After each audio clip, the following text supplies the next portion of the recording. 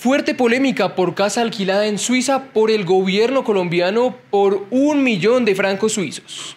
En las últimas horas se conoció que el gobierno de Gustavo Petro alquiló una casa en Davos, Suiza, por un millón de francos suizos, equivalente a 4.588 millones de pesos colombianos. Esto será durante los cuatro días en los que se estará realizando el Foro Económico Mundial. La senadora María Fernanda Cabal fue una de las primeras en reaccionar acerca de esta información en su cuenta de X, en donde escribió que a pesar de que el presidente se la pasa hablando mal del capitalismo, se gastó esta gran cantidad de plata en una casa en Suiza. La senadora cree que esa casa se arrendó para que nosotros durmiéramos ahí.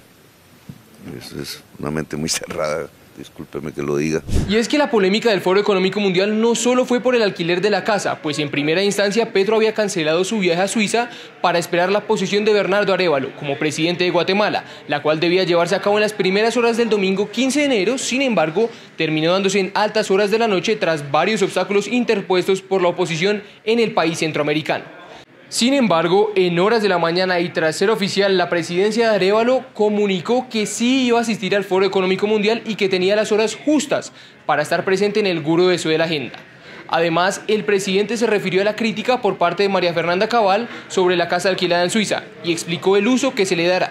La vivienda está ubicada en la calle principal de Davos, Suiza.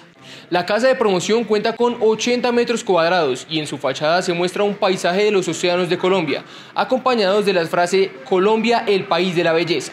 Además, habrá un jeep en la entrada representando la cultura cafetera de nuestro país. El objetivo del alquiler de esta propiedad es que sea visitada por diferentes gobiernos, grandes marcas y magnates poderosos a nivel mundial que estarán visitando Davos por el Foro Económico Mundial. Porque se aprovechan este tipo de foros mundiales donde llegan miles de periodistas, de gente eh, de todo el mundo y, de un sector muy adinerado del mundo, precisamente para que se pueda atraer un turismo hacia Colombia en beneficio de toda la sociedad colombiana.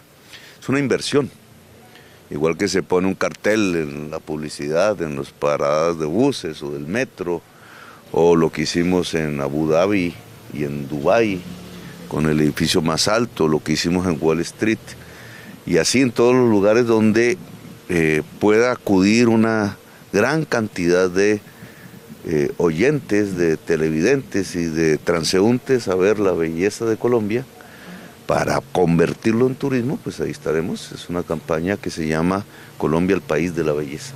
Aún así, varias personalidades de la política y usuarios en redes sociales continuaron las críticas contra el gobierno por gastar tal cantidad de plata teniendo en cuenta la coyuntura del país.